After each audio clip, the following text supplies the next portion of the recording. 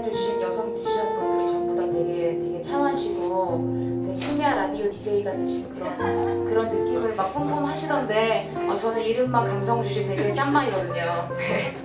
죄송하고 어, 첫곡 감성 터지는 노래 한 곡 먼저 시작할게요.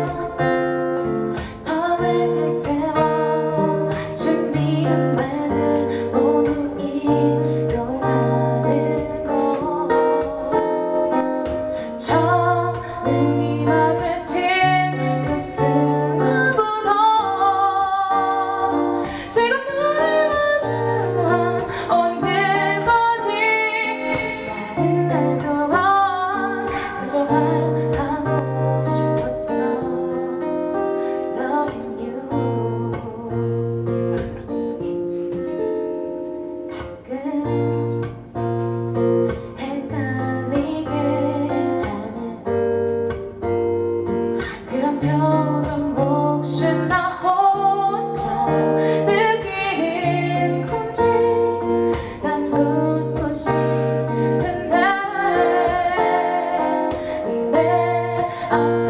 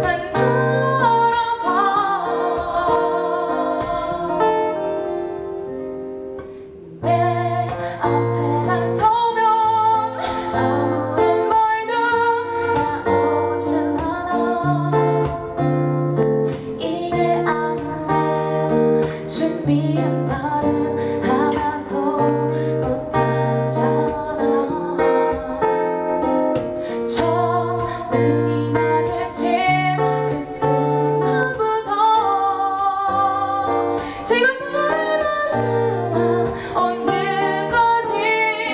많은 날 동안 그저만 하고.